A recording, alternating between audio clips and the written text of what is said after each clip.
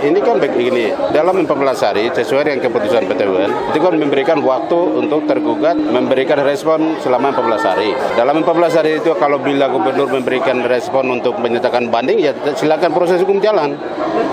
Keputusan itu belum inkrah, Pak ya? Iya, jadi sampai dengan detik ini kan kalau keputusan hukum betul, tapi belum ingkirannya. Ingkira ketiga itu akan dinyatakan bahwa gubernur menyatakan banding atau mengikuti keputusan PT UN. Berarti kita tidak mengganggu aktivitas DPR, tetap kita jalan. Agenda terdekat perubahan APBD Pak ya sesuai jadwal. Ya, sesuai jadwal dan tahapan tetap jalan. Agenda Dewan sementara menunggu hasil audit keuangan BPK. Ketiga itu sudah sampaikan kepada pemerintah daerah, pemerintah daerah lanjut ke DPR, DPR tinggal bahas.